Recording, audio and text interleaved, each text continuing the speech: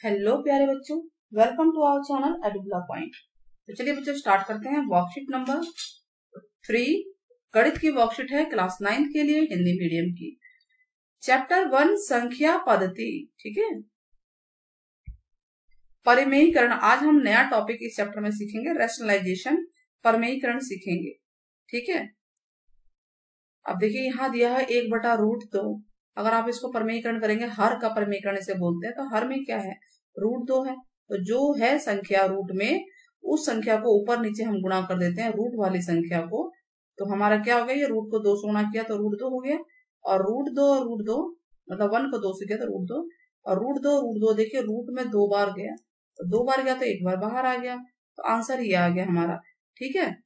और सवाल करने की कोशिश करते हैं। देखिए, एक बटा रूट तीन है। तो हमने क्या करना? हर का परिमीकरण करना है।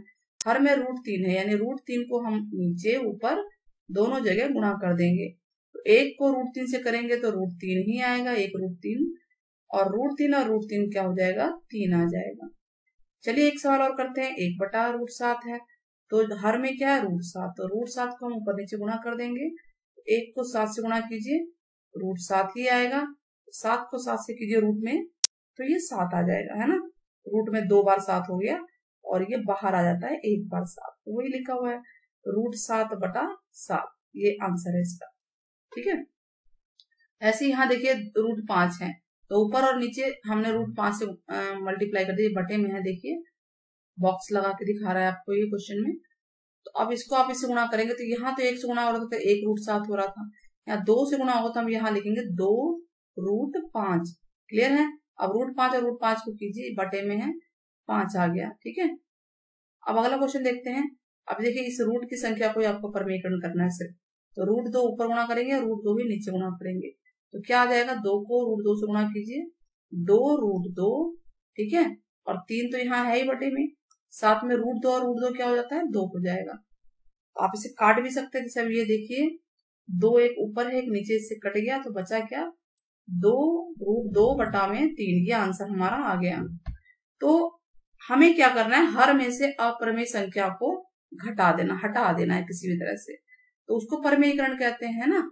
परमेय संख्या में बदल दिया हमने, हर को। किसको? हर को, हर यानी नीचे की संख्या। चलिए इन कुछ सवालों को और देखते हैं। ये पहला क्वेश्चन करके दिखाया हुआ है। तो मैं यहाँ करके दिखाती हूँ आपको। एक बटा दो प्लस रूट तीन है, दो संख्या वाला है। तो हम क्या करेंगे? यही संख्या ऊपर और नीचे गुणा कर देंगे। बस जो यहाँ निशान है, उसका उल्टा लग जाएगा। दो माइनस रूट तीन हो जाएगा यहाँ पे। ठीक है? दो माइनस रूट तीन। चलिए इस सवाल को पूरा करते हैं। तो अब एक से गुणा करेंगे तो संख्या ऊपर तो यही आ जाएगी। दो माइनस रूट तीन, ठीक है? और नीचे क्या बन गया? A plus B A minus B इस तरह से बन गया। दो प्लस रूट तीन और दो माइनस रूट तीन। तो आप इसको बोल सकते हैं A plus B A minus B नीचे यही फॉर्मूला लगेगा A square minus B square A है दो और बी है रूट तीन, ठीक है? तो दो माइनस रूट तीन ऊपर तो है। और नीचे हो गया ए स्क्वायर यानी कि दो का square minus B square root तीन का स्क्वायर ये आ गया दो माइनस रूट तीन बटा में दो का स्क्वायर क्या होता है बच्चों? चार। और रूट तीन का स्क्वायर तीन होगा।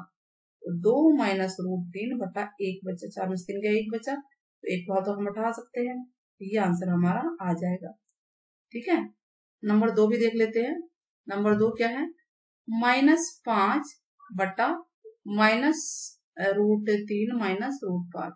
हम क्या करेंगे? जो यहाँ माइनस है ना इसका अपोजिट सिंबल लेंगे। तो यहाँ प्लस का हमने माइनस लिया था तो यहाँ प्लस लेंगे। रूट तीन प्लस रूट पाँच बटा रूट तीन प्लस रूट पाँच। अब ध्यान दीजिएगा, वहाँ तो एक था तो एज इट इज़ आ गया। यहाँ पाँच है माइनस का। तो माइनस पाँच हम ऐसे लिखेंगे, और रूट की संख्या को आप यूँ ही ले सकते हैं। ठीक है मल्टीप्लाई इस तरह से हो गया। अभी अब क्या है? A minus B A plus B formula तो यही वाला बनेगा A square minus B square A क्या है यहाँ पे बच्चों? ए है रूट तीन और बी है रूट पाँच. ए स्क्वायर यानी कि रूट तीन का स्क्वायर माइनस रूट पाँच का स्क्वायर क्या आ जाएगा बच्चों? ये आ जाएगा माइनस पाँच. ऊपर का तो ऐसे ही उतर जाएगा. नीचे हो गया रूट तीन का स्क्वायर तीन होता है और ये पाँच हो जाएगा. तो यह आ जाएगा माइनस पाँच. ब्रैकेट में रूट तीन रूट पाँच प्लस में है. और ये माइनस दो आ गया। पाँच में तीन का दो ये है। माइनस से माइनस कट गया, जो है वो आंसर बच गया। क्लियर हो गया?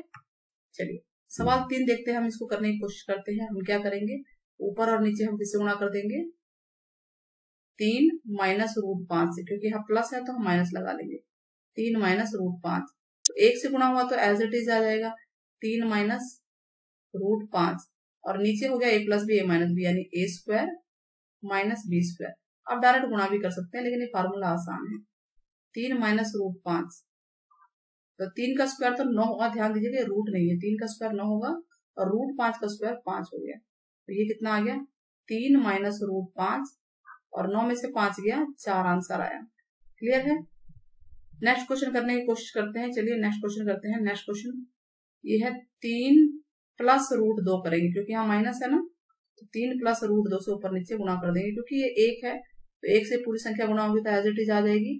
तीन प्लस रूट दो, और नीचे आ गया A minus B A plus B यानी A square minus B square root दो का स्क्वायर हो गया। तो ये आ गया तीन प्लस रूट दो।